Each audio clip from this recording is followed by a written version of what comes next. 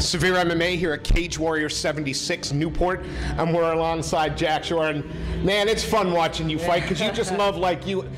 It's it's like winning is a habit you can't get out of. Yeah. Is that how it feels in there? Yeah, I mean, I suppose I don't take no fight for granted, no opponent, but obviously I enjoy winning like everyone else, and uh, like you say, I'm making a bit of an habit of it. But you know, obviously that's the plan. I don't ever go in there to lose, or every fight I take you know, tough fight, but I always got the intention of winning no matter who. You know, you had the the, the French uh, French kid David Crow, and you know the thing about the French, uh, as, as we've seen over the last couple of years, is you, you just don't really know what you're going to get until you step in there. Yeah. Their stand up can be off the charts.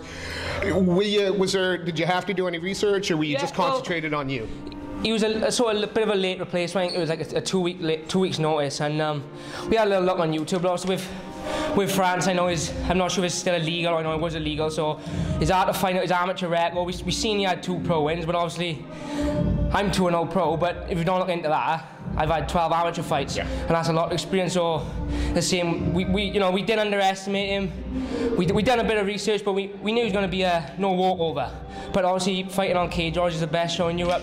You're not going to fight the walkover. Every fight you have And, be a dangerous and fight. fighting at home, that's got to feel Yeah, good too. yeah. It's always great to have the support. My friends and my family, you know, they really get behind me. And as soon as I got tickets for a fight, they, you know, they're at me.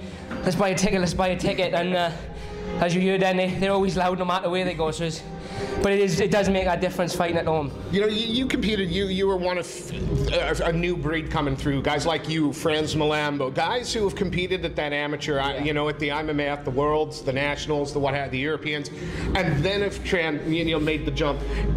Uh, Is that was that the best thing that could have happened? Was putting a little bit more spotlight on Yeah, the yeah, amateurs? yeah. No doubt, not so much for, for the spotlight, but obviously it does get a name out there, but it's also sometimes, especially in this country, when I was like five, six and oh, it can be tough for promoters to match you up. You enter those IMMAF, the Worlds or the Euros, there's 30 boys in the category, you're going to say, you know you're going to fight, you, you fight whoever they put you up against, and especially doing the Euros, every fight I was against a good, tough, experienced boy, so winning I, I, I knew in my head I was ready for pro because, you know, you're fighting the best boys out there at amateur.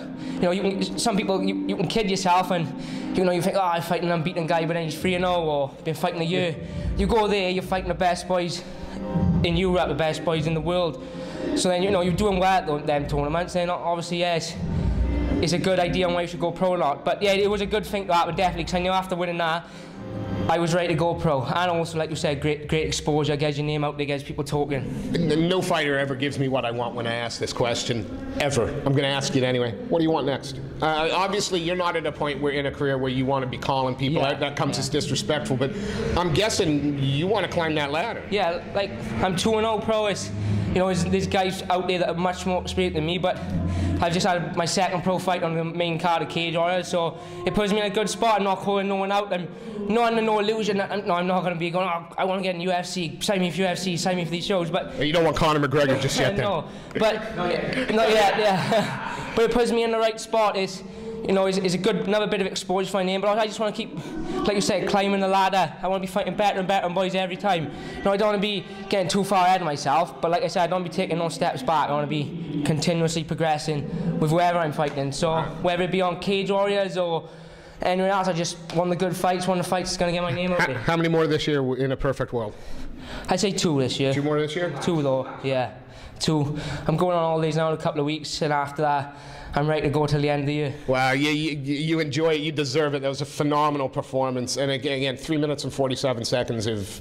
I, I- I hate to disrespect your opponent, but that you owned him. You absolutely Thank owned you. him. Thanks. We look forward to seeing you fight again, Shore. Thank you Can I so just much. uh, Yeah, quickly thank my team, uh, Tillery Combat, my coach and father, Richard Shore, my teammates, uh, Jack Marshman, Chris Edwards, Jack Tucker, Sean, there's too many to mention.